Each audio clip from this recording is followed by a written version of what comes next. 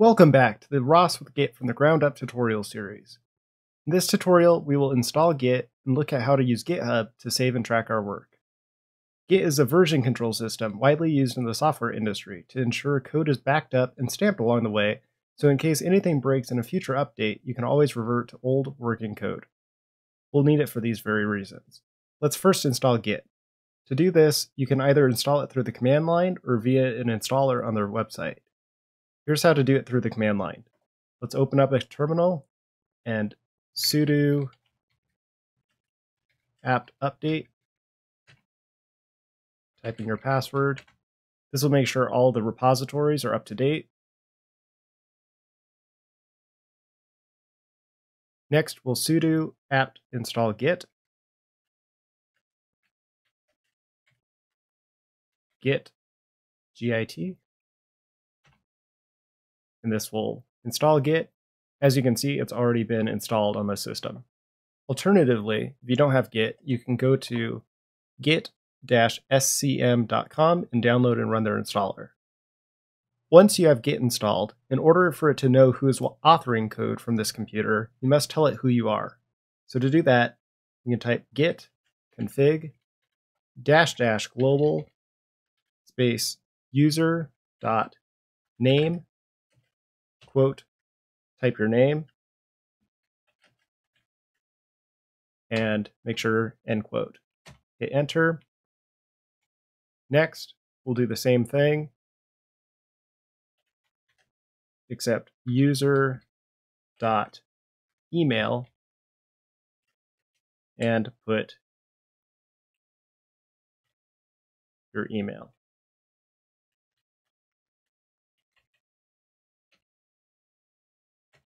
Git is accessed through the command line, so other services like GitHub were created so users could visually see their backed up files and history on the web.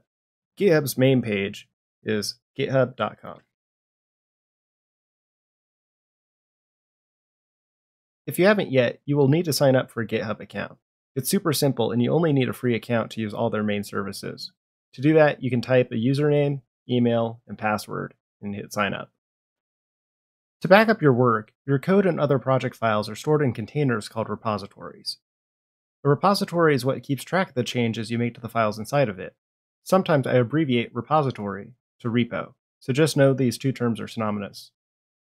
If you're working on an existing team that already has a public repository created for your project on GitHub, to gain access, you simply need to go to the repository page and click the green button that says code and copy the link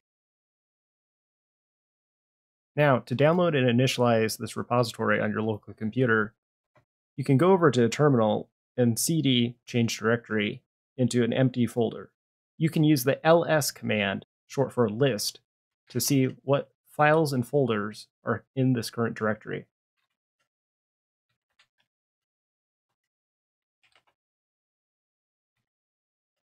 I've already created an empty folder called Git tutorial.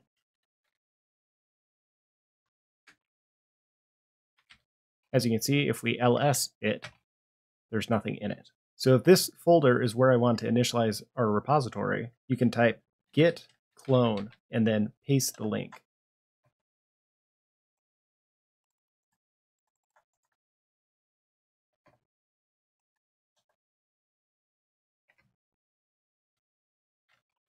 We have now successfully downloaded the repository structure and stored it in Git tutorial if we change directory into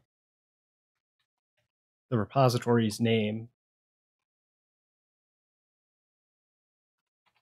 we can see that readme.md, which is a README file that was automatically set up, got downloaded as part of the repository. Now, I'm going to quickly create a file to show you how to add a new file to a repository so we can keep track of its changes.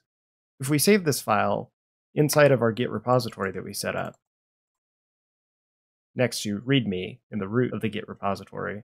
And we call it hello underscore world dot txt or any other file name extension. We can now go back to our terminal. Now, if we type git status, we can see that one file, our file hello world.txt, has not been added to our repository yet, as shown in red. To add this file to our repository, we're going to need to add it first to a commit. A commit is a specific version tag that allows us to track the version history of each of the files, and of all the files in the repository. Once we commit our changes, we can push our changes. Pushing our changes will sync all of our files back to the cloud on the GitHub server. Any changes or commits that aren't pushed will not be reflected on the cloud, and as such, if anything happens to your computer, your work will be lost. So let's add hello world.txt to our repository. To do this, we can type git add and then hello world.txt. Alternatively, if we have a lot of files that we want to add, we can just type git add dash capital A. This will add all of the modified files to our commit. Next, we need to commit our changes. To do this, we type git commit dash m quote and then a commit message, something like added hello world.txt.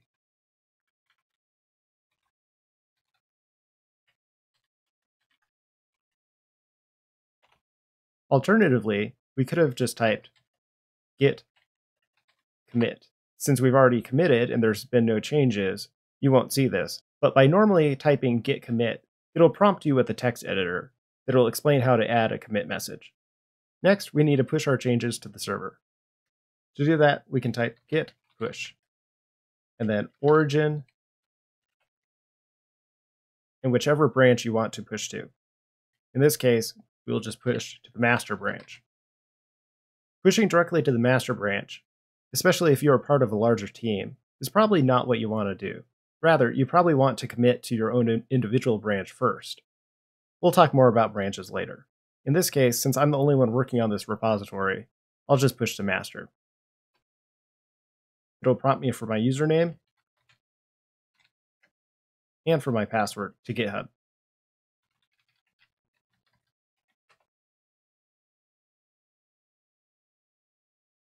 And now we can see we've updated the old master to a new version with our commit.